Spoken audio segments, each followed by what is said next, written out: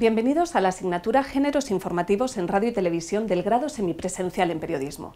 Mi nombre es Gemma Alcolea y soy quien nos va a guiar y acompañar en este proceso de enseñanza-aprendizaje a lo largo de los próximos meses. En esta asignatura, como su nombre indica, vamos a abordar los géneros informativos, pero ya no de una forma genérica y amplia, sino de manera específica, centrándonos en la radio y la televisión. ¿Esto qué nos dice? Pues una cosa muy clara, que si bien partiendo de unos principios comunes y fundantes, los géneros informativos en radio y televisión no son una mera transposición de los de la prensa, sino que tienen su propia identidad. Tenemos que acercarnos, por lo tanto, previamente, a las características de la información en los medios audiovisuales y a lo que tiene de propio.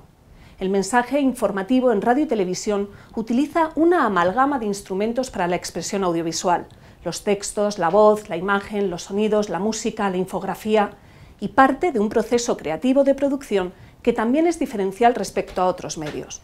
Esto es lo primero que tenemos que hacer, abordar el concepto de información y los procesos de mediación con el adjetivo de audiovisual. Las características del discurso audiovisual informativo, su producción, su lenguaje y componentes para la expresión informativa y el proceso de elaboración y montaje. Sentaremos así las bases para el conocimiento de los distintos géneros informativos audiovisuales en los que entraremos a continuación. Noticias, crónicas, reportajes, documentales, entrevistas, tertulias, debates, así como otras expresiones del periodismo audiovisual que han aparecido a medida que se han ido desarrollando las tecnologías de la información y la comunicación, con las nuevas formas de hacer periodismo y sus estilos y formatos. Pero no se trata solo de que conozcáis estos elementos, sino que los comprendáis, que profundicéis y reflexionéis sobre ellos. Lo haremos desde el análisis formal de la información audiovisual y desde el tipo de contenido que vehiculan. Y por supuesto, se trata también de que seáis capaces de llevarlos a la práctica, por lo que procederemos a la elaboración de los mismos. De hecho, esta es la competencia específica que se espera que tengáis a finalizar el curso, es decir, que al terminarlo seáis capaces de elaborar textos periodísticos audiovisuales, desde noticias básicas hasta formas textuales más complejas. Por lo tanto, esta es la parte que tiene más peso en la, evaluación. Y os pido algo más, que esa competencia específica se alcance junto con otras de carácter transversal, como son la capacidad de trabajo en grupo, la empatía, la honestidad y ética profesional, y por supuesto siendo responsables de vuestro propio aprendizaje y protagonistas del proceso.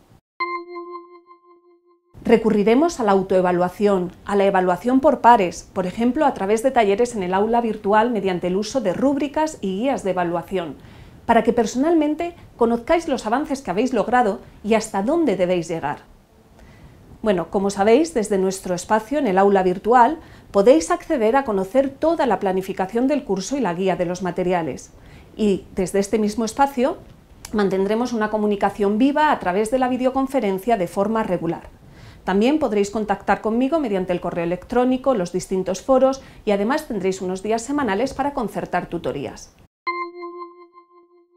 Como podéis ver, el recorrido es apasionante y absolutamente fundamental para vosotros, como futuros periodistas inmersos en un mundo audiovisual y digital. Estoy convencida de que será gratificante y muy fructífero. Ya solo queda que nos pongamos en marcha.